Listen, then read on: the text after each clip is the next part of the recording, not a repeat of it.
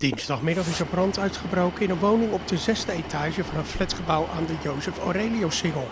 De brand brak rond drie uur 's middags uit in de keuken van een woning. De bewoners van de woning zijn via het balkon overgestapt op het balkon van de buren, waarna zij in veiligheid konden worden gebracht. Eén bewoner had rook ingeademd en werd door ambulancepersoneel onderzocht. De brandweer had het vuur snel onder controle, waarna gestart kon worden met het ventileren van de woning. Er hoefde uiteindelijk niemand mee naar het ziekenhuis.